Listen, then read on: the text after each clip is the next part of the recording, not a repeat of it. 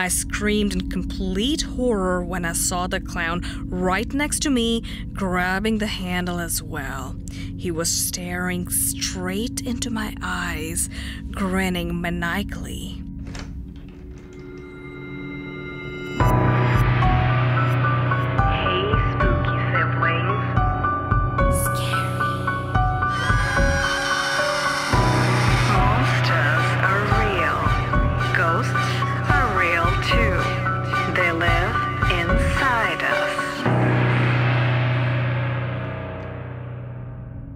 Hey, spooky siblings.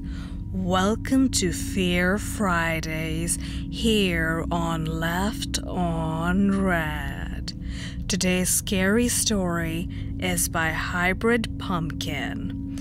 And if you like the story, please check out the author's subreddit r slash hybrid pumpkin, full of spooky content, polls, and discussions.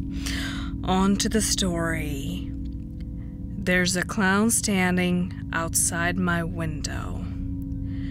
When I woke up just 30 minutes ago, I saw it. A disgusting, nightmarish face covered in bright makeup.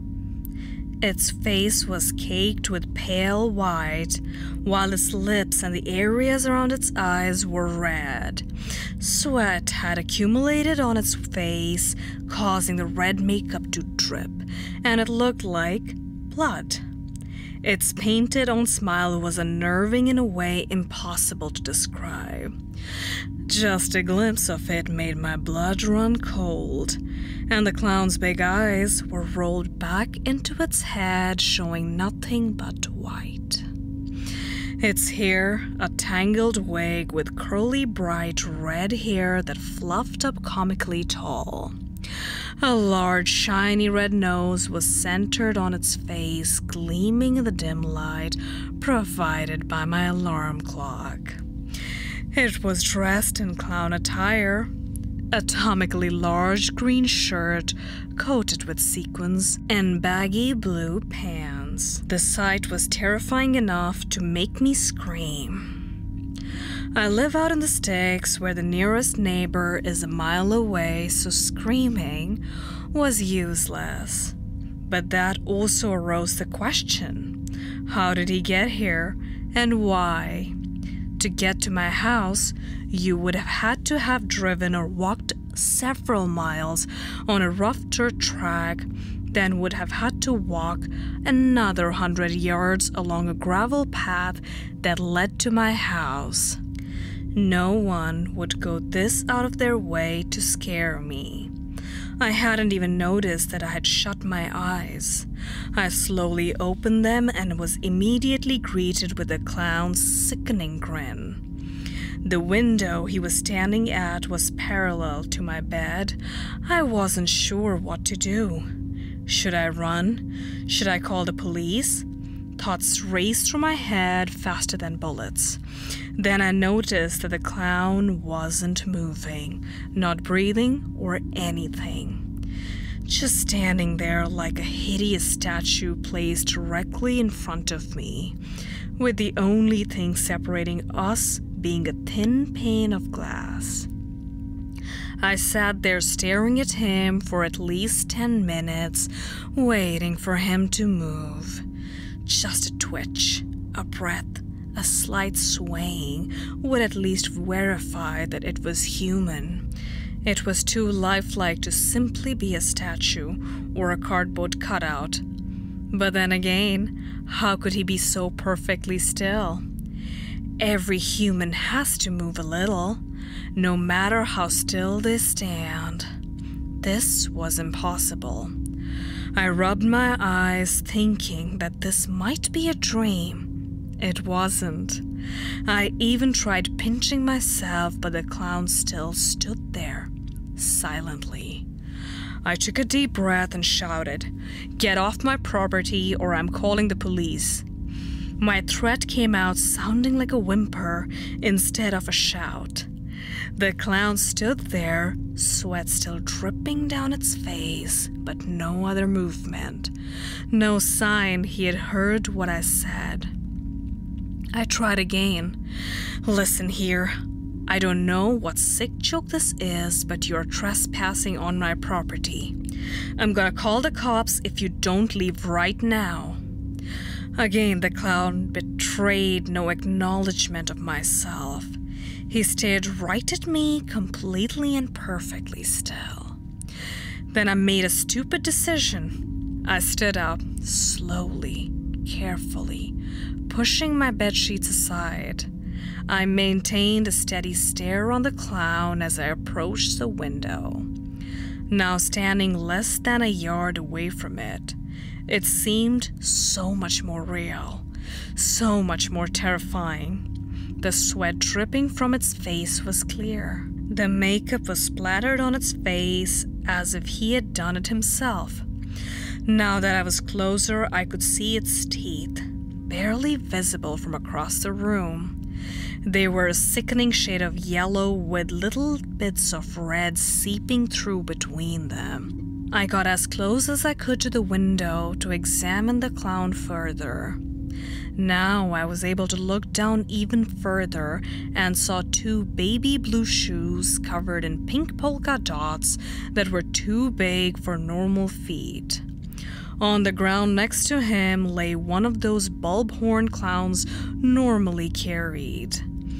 The ground around him was covered in red makeup that had formed a puddle around its feet. I wanted to vomit. Why was this clown here? What did it want from me? Then I did something really, truly stupid and opened the window. Rookie move, my friend. Rookie move. I know, right? The sound of the window scraping against the side of its frame tore through the silence like a knife. The cold air entered my house, causing me to shiver. I couldn't see much beyond the trespasser as he blocked most of my view. Now that there was nothing separating us, the silence was unbearable. I felt that at any moment he would grab me and drag me into the darkness beyond, and no one would know. I reached out, slowly, carefully, and grabbed the clown's baggy green shirt. Then I touched its face. It was skin. The clown was definitely not a statue. As I pulled my fingers away, a glob of white makeup came with me. I wiped it off on the clown's shirt. Whoa, whoa, whoa. Did he ask Mr. Clown before touching him? Rude. Mm hmm. Throughout all of this, the clown remained still. He showed no signs of life. He did not blink, did not twitch. He did not breathe. The only thing resembling life was the sweat that poured down its face. I slammed the window shut, unsure of what to do. I made sure the window was locked, then walked downstairs. I decided to grab a glass of water, then call the police.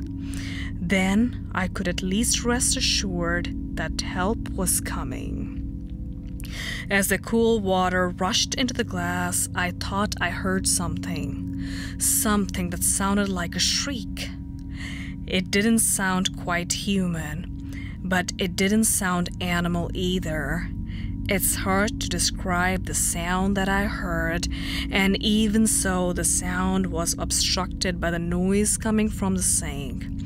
I turned off the faucet and listened. Nothing. Silence. Was it my imagination? Was my mind playing tricks on me? I couldn't tell. I sat down at my counter and drank my water. I wasn't in a rush, as I figured that he would stay still at my window, as he had earlier for heaven knows how long. Something fishy was going on, sure, but I'm six foot five and weigh 240 pounds. On top of that, I have a black belt in Taekwondo, so if someone tried to mess with me, they would regret it. Sorry to break it to you, buddy. Those things don't mean much in the paranormal realm. Then I made the mistake of glancing to my right at the window, and I saw something horrifying. The same clown who was at my window earlier was standing completely still at this window, staring at me with wide eyes. It was leaning forward, hands pressed firmly against the glass.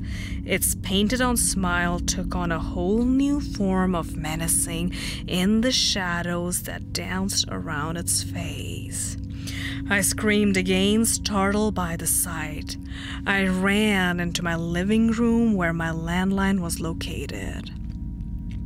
As I ran through the hall, I heard the shriek again, this time much louder and clearer. Except now that there was no other noise to obstruct it, I realized that it wasn't a shriek. No, it was something worse a laugh. A sickening cackle disturbing enough to turn anyone's blood to ice. Oh, I think I got it. Did it go something like this? I think you're onto something, Polty. I soon reached my den and darted towards my landline. I picked it up, quickly dialing 911. But as I attempted to call the number, something bad greeted me. Something very bad. Silence. The line was dead.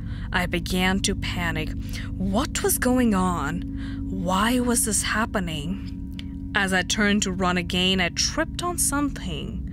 I looked back on what I had tripped on. The cord, the cord to my phone. It was cut in half by what looked like to be a knife. Bits of wire were exposed on the frayed ends. I stood up shakily. Someone had been in my house. But where were they? Were they still here? With nothing else to do, I concocted a plan to save myself. I had no other option, it seemed, than to run away. I would exit via the back door, then run the full mile to my nearest neighbor's house. I could use their phone to call the police. It seemed like a long shot with the clown outside, but I had no choice. I turned to the living room window. The clown was standing there now perfectly still, smiling at me with a sadistic grin. I slowly backed away, keeping a steady watch on him. I was beginning to think that he only moved when I wasn't looking. The creaking of my footsteps on the hardwood floor were the only sounds to be heard. I continued to step away slowly, cautiously, until I reached the back door.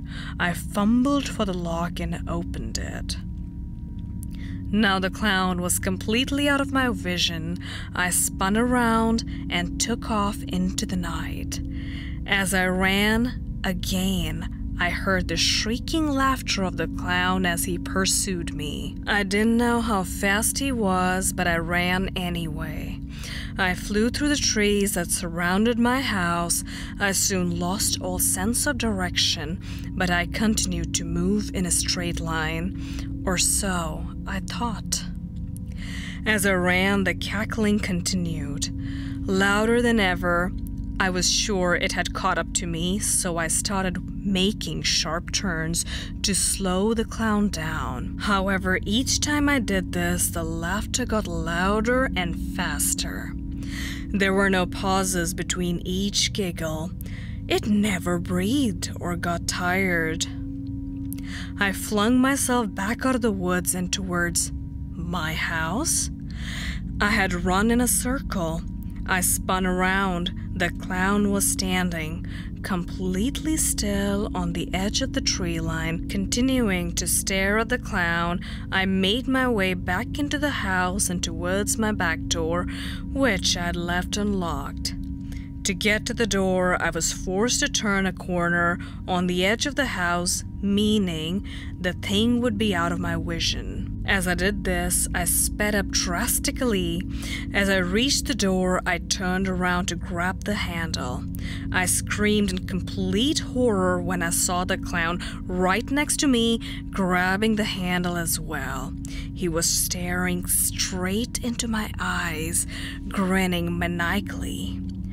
A light of insanity burned in its eyes. I leaped into the house. This was followed by another shriek of laughter as he followed me from outside. I ran into my room and slammed the door, locking it. I looked at the window and the shrieking stopped. The clown had stopped in the middle of opening my window. I slammed the window shut on its fingers, to which of course, he betrayed no reaction. I'm writing this now in hopes that someone will find this. Please send help. There's a clown standing outside the window, and if I close my eyes or look away, it will attack. Please help. This clown isn't human. It can't be. Please send help. And that was Fear Friday. My name is Redd, and this is Left on Redd. If you like this video, don't forget to like and subscribe, and press the bell notification button so that you get notified every time Polty and I upload a new video. Until next time.